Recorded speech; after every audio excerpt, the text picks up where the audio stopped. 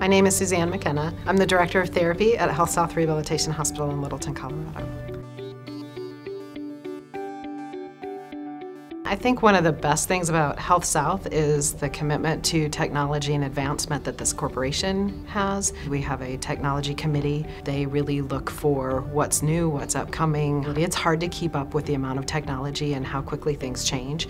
So I feel like Health South is positioned perfectly to be able to investigate those technologies and then really put the, the best ones into the field.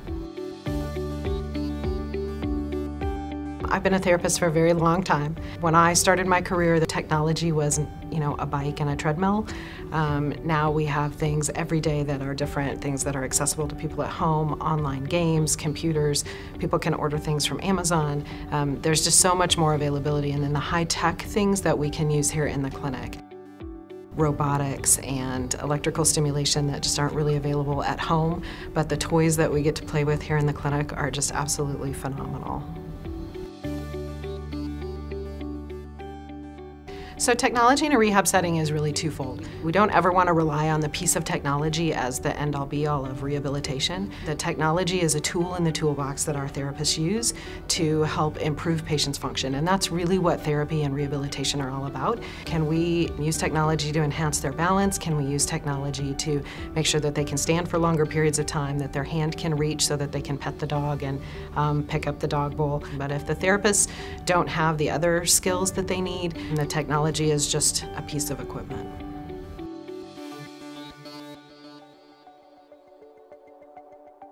The important piece for people that are recovering or surviving from stroke is to look at things that are easily accessible at home. There are video games that people can use, there are applications on the computer or their phone.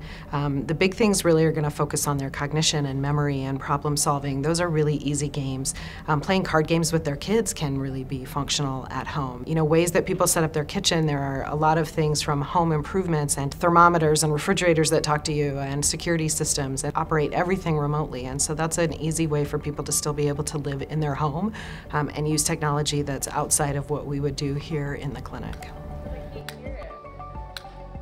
You know, I think the big things that are coming out again are a lot for um, paralysis, both for stroke and spinal cord injury. I think um, more robotics and more um, what we call exoskeletons and things that work kind of outside of the body.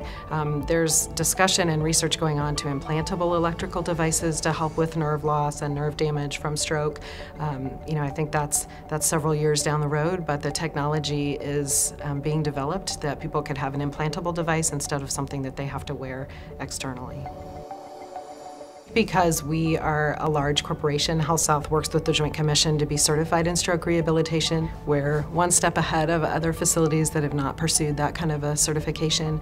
Uh, so we're constantly looking for the next best thing, things that are applicable to patients' function and patients' life, um, and things that they can use kind of ongoing.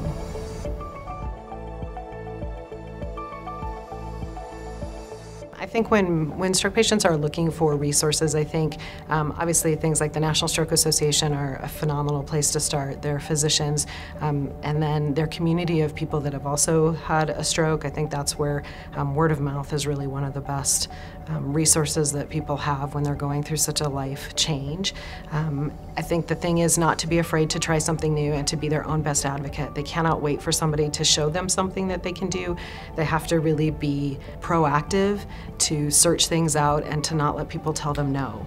The healthcare system is hard to navigate, and so people have to have an advocate with them or to be really persistent and to be their own best advocate.